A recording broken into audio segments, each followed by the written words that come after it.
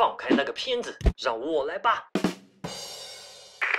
大家好，我是周八片，今天扒的片是高分动画《辛普森一家》。爷爷在病危时候忏悔罪行，顶空当然是选择原谅啊。然而事情却意外反转，最后在悬崖边命悬一线的时刻，我们终于看清原谅的真谛。所谓原谅别人，其实是放过自己。换重点开始扒片。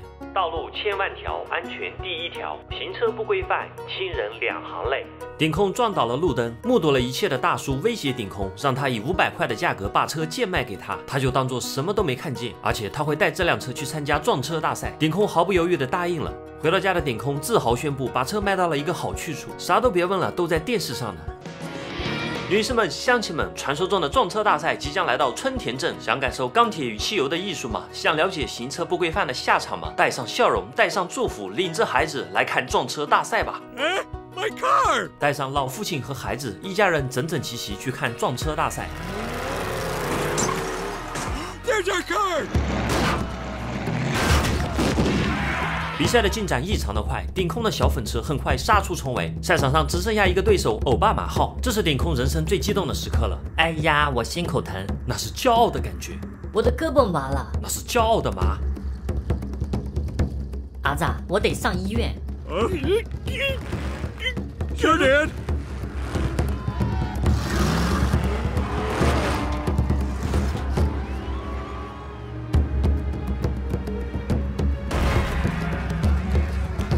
顶空就这么错过了人生最自豪的时刻。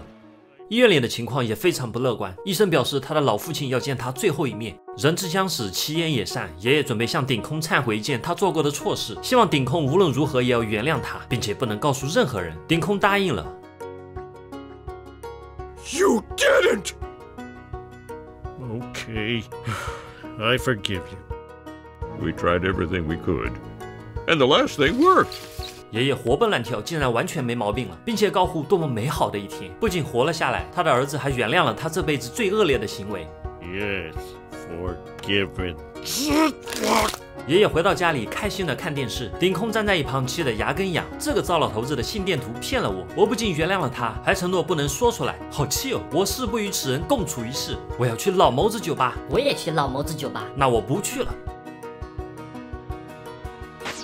我还是去吧。父子俩就这么在吧台两边对峙了一晚。家里人想了想，这也不是个办法，决定送他们来一次亲情冒险。工作人员把他们关进了一间密室，只有合作解开十个谜题才能逃生。爷爷率先打破僵局，拿出一把大宝剑递给顶空。他认为把剑插进魔法门，应该会有个密道能打开。顶空觉得好有道理，立马展开行动。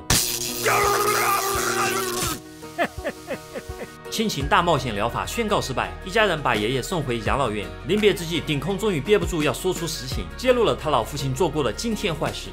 那是顶空小时候，头上毛发正浓，他慈爱的母亲非常喜欢给小顶空做美味大餐，每次做完之后还把食谱写下来，所有的食谱锁在一个盒子里，那个盒子是顶空最珍贵的财宝。后来顶空的妈妈离家出走，老父亲非常愤怒，扔掉了那盒食谱以及所有关于他的东西，还对顶空撒谎说是妈妈离开的时候带走了那盒食谱。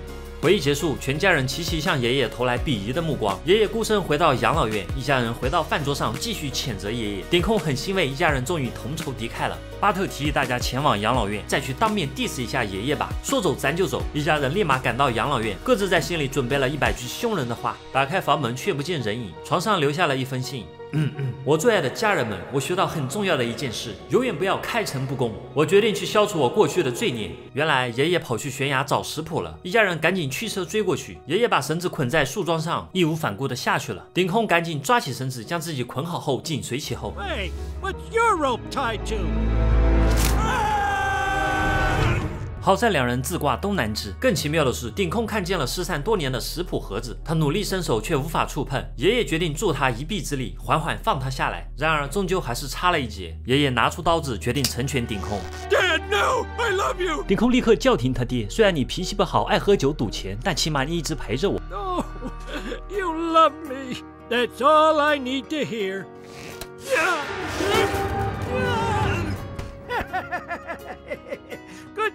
thing I also threw out your mother's bed when she left. 凌空兴奋地捡起盒子，打开一看，却空空如也。何以解忧，唯有美食。好在山下刚刚有家餐厅，这里的苹果派好吃的不得了。顶空越吃越觉得这是妈妈的手艺，味道一毛一样。赶紧询问老板娘，老板娘想起那是三十多年前的晚上，餐馆生意不佳，她在门外思考人生。就在此时，一张张食谱从天而降，仿佛命运女神的馈赠。靠着这些食谱，她的生意才蒸蒸日上。顶空终于找到食谱的下落，老板娘物归原主。食谱背面赫然写着：“记住，我还是爱你的，但你爸爸是个贱人加混蛋。” What you say？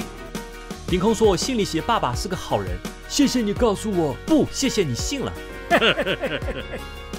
这集最精彩的时刻，大概就是悬崖上这一段，一边是伤害自己的人，一边是失去的美好，这二者的取舍，其实就叫做原谅。